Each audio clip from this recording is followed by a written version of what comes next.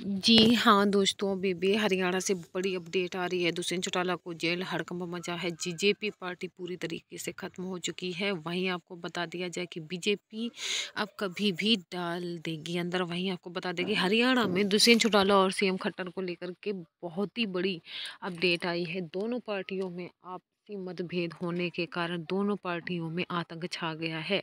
यहाँ कार्यालय में इतनी भीड़ हो चुकी है कि ये दोनों पार्टियों में आखिर ऐसा क्या हुआ है कि 2024 के इलेक्शन के पहले ही लास्ट मोमेंट पे, लास्ट समय पर आपसी मतभेद इतने अधिक हो जाने के कारण एक दूसरे की शकल तक देखना पसंद नहीं करते हैं। हरियाणा में मनोहर लाल खट्टर ने ऐलान करते हुए कहा है कि अब हमारी जो दोनों बीजेपी और बीजेपी दोनों गठबंधन सरकार है, ये अलग अलग सरकार बनाई जाएगी। दुष्यंत चौटाला, अलग लड़ सकते हैं और मैं अलग लड़ सकता हूँ। अब गठबंधन सरकार नहीं बनाई जाएगी। हम तो चाहते थे कि गठबंधन सरकार यूँ ही चलती रहेगी और हम दोनों के मतभेद भी एक ही थी।